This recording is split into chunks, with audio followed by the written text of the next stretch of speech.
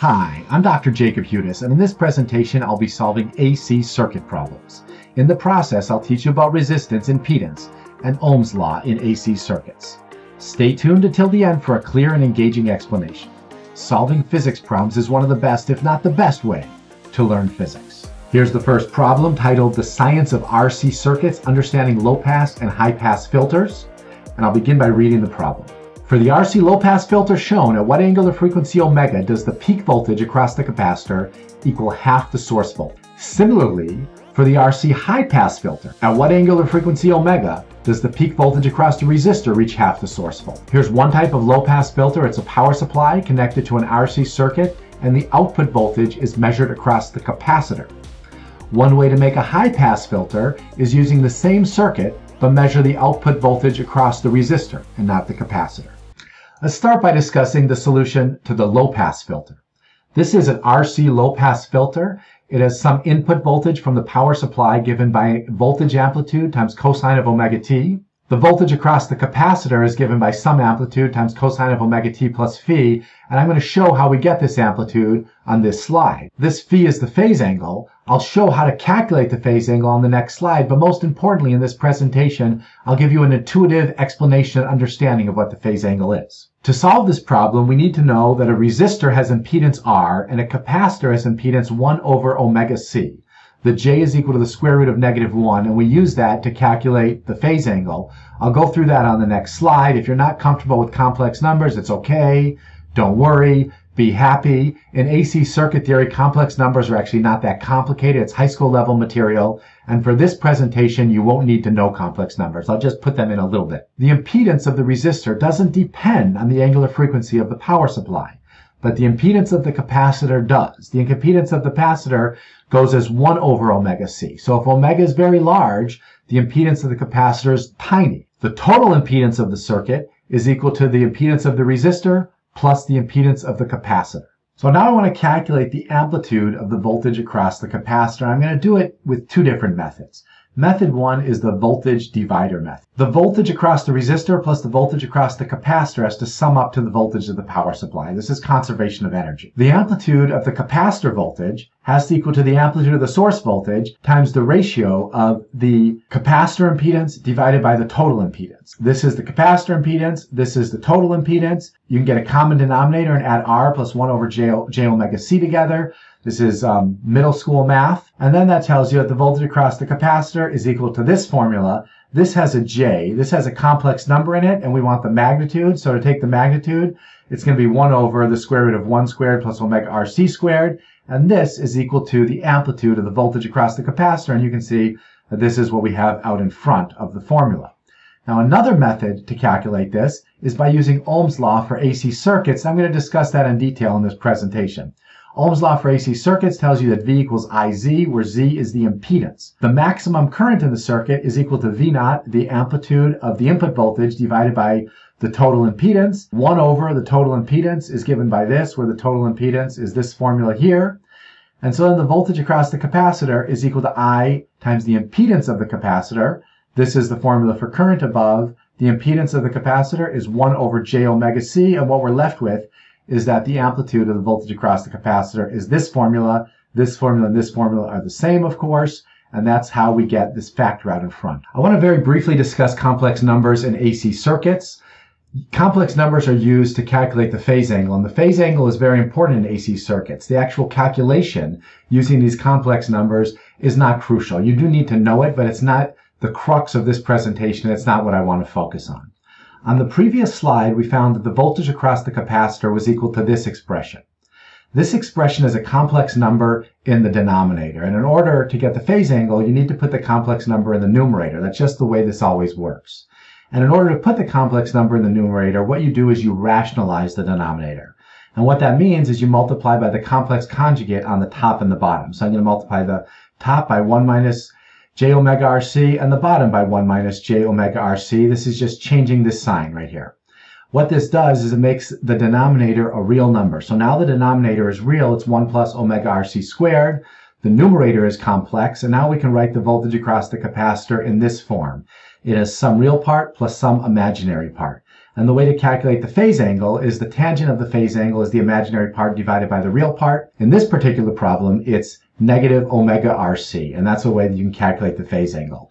What's important is to understand what the phase angle is, and that's what I'm going to try to give you an intuitive understanding of as we move through this presentation. AcePhysics.org, Math and Physics Tutoring with Dr. Hudis. The question says, for the RC low-pass filter shown at what angular frequency omega does the peak voltage across the capacitor equal half of the source voltage? The impedance of the capacitor is a function of omega, the driving frequency. We know that this is the voltage across the capacitor. We found this on the previous slides. And if I set this equal to half of the amplitude of the source voltage, I can then solve for omega. This equation allows me to solve for omega. First, as I divide both sides by V naught, that gives this expression. I can then square both sides and cross multiply. Then I have 1 plus omega RC squared is equal to 4. Subtract 1 from both sides. Omega RC squared is equal to 3. The results for the low pass filter are right here. The voltage across the capacitor is given by this expression. And when the angular frequency of the driving source is equal to root 3 over RC, the voltage across the capacitor is equal to half the voltage of the driving source. On this slide, I have plotted the voltage of the driving source in orange, the voltage across the resistor in the dotted line, and the voltage across the capacitor in the dashed line. And these are plotted for a driving source frequency of the square root of 3 over RC. Notice that the amplitude, the maximum value of the voltage across the resistor is 5, and the, ma- and the maximum value of the driving source voltage is 10. That's what we are calling V naught on the previous slides. So the capacitor amplitude is half the amplitude of the driving source amplitude, and that's because we're at this frequency, which we just solved for on the previous slide. Notice that the voltage across the capacitor and the voltage across the resistor are out of phase with the driving source. Since this is a series circuit, the sum of the voltages across the resistor and the capacitor must equal the voltage of the driving source. So for example, at time t equals 2 seconds, the driving source voltage is 9.7 volts. The voltage across the resistor is 7.3 volts, and the voltage across the capacitor is 2.4 volts. As you can see at this time, the voltage of the driving source sums up to the voltage across the resistor and across the capacitor. A resistor always resists current flow. Always. And it does that because as the electrons move through the resistor, they bounce off the atomic nuclei in the resistor and they heat it up, and it's a frictional force. It always resists current flow. A capacitor can both resist and assist current flow. At this particular time, the capacitor is resisting the current flow, but it works on a different mechanism. Charge builds up on the capacitor plates, and that creates an electric field which pushes against the current. So a capacitor impedes current flow, and a resistor impedes current flow, but they work by different mechanisms. Here's the same graph that was on the previous slide, but now I'm going to look at time t equals 5 seconds.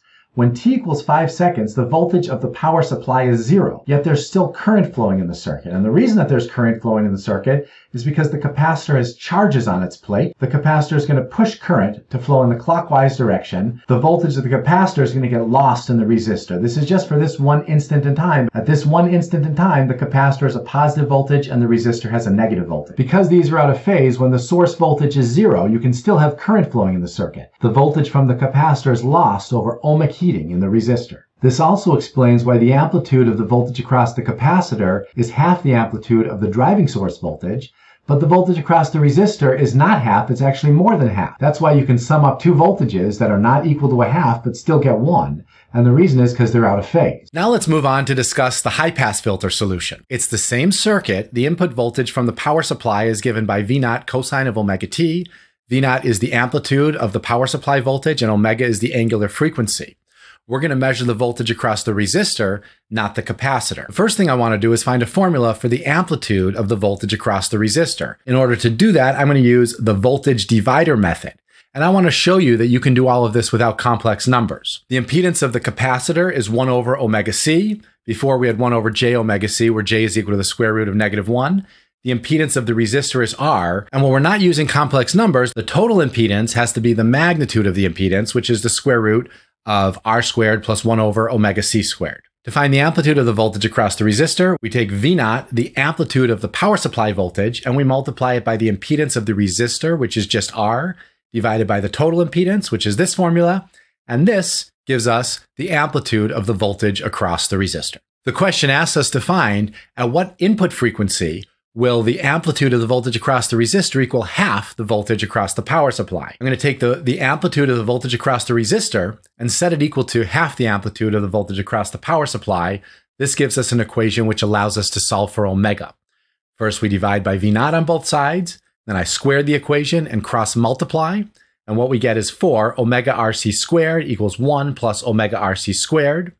And therefore, 3 omega RC squared is equal to 1. And what we find is that the driving frequency is equal to 1 over RC times the square root of 3. This is a different driving frequency than what we found for the previous part of the problem. In summary, a low pass RC filter measures voltage across the capacitor. At low frequencies, the capacitor has high impedance, so most of the voltage appears across it, allowing low frequencies to pass while high frequencies are attenuated as the capacitor's impedance decreases. A high pass RC filter measures voltage across the resistor. At high frequencies, the capacitor has low impedance, so most of the voltage drops across the resistor. In both cases, voltage and current are out of phase because the capacitor stores and releases charge, allowing positive current to flow even when the power supply voltage is zero or negative. Now let's move on to problem number two, titled Ohm's Law for AC circuits. I'll begin by reading the problem.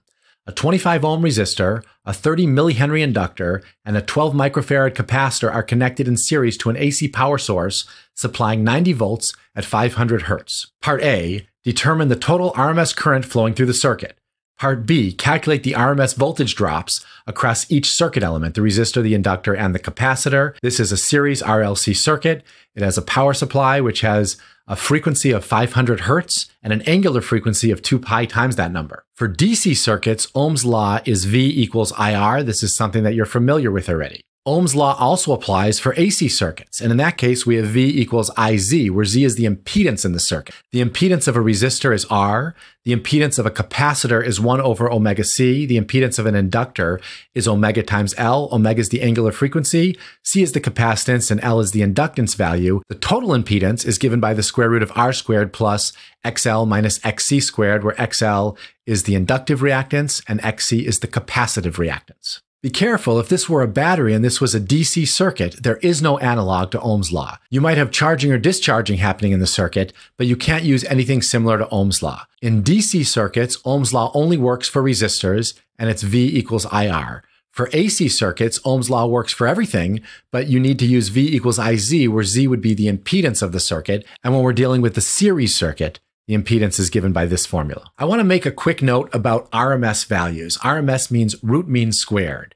In all of these problems, the input voltage source is a sine wave or a cosine wave, and that means it's positive half the time and it's negative half the time. Now, if you wanted to take an average of that, you'd get zero. The average voltage would be zero, the average current would be zero, the average power would be zero. That's not helpful in doing the circuit analysis, and it's not meaningful because there is power being dissipated and there is voltage coming out of the voltage source. So in this case, rather than take a regular average, what we have to do is take a root mean square average. And what that means is we square the function and then take an average and then we take the square root. And that's the definition of a root mean square. For example, let's say we want to calculate the root mean squared of current, which has an amplitude times cosine of t. So what we what we would do is we'd square this function, and then we take the average, and calculus, the average is 1 over the period times the integral from 0 to the period. In this case, the period is just 2 pi because omega is equal to 1. You can compute this integral using this trig function. It's not hard to do.